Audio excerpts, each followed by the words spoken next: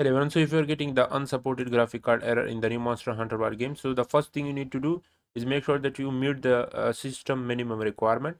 And to do it, simply go to the Steam and search for the Monster Hunter Wilds game uh, official page.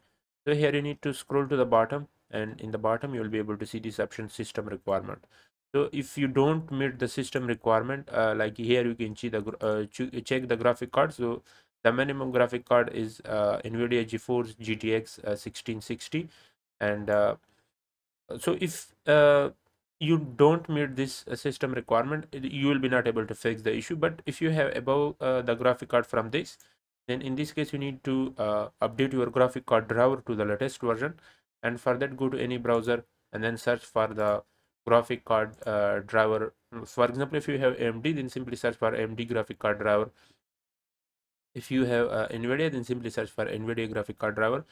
So once you download this then uh, simply open the graphic card and uh, in here you need to select the setting from the top menu and select the system here.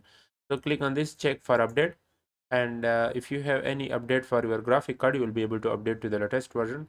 So once you update your graphic card then next go to the setting here in the setting you need to select update in security and click on uh, window update and check for update so if you have any pending update it will uh, update your game to the latest version so these are best thing to do uh, to fix uh, this type of issue in the game. I hope this video help you. Uh, subscribe this channel for more informative this. Thanks for watching and see you in the next video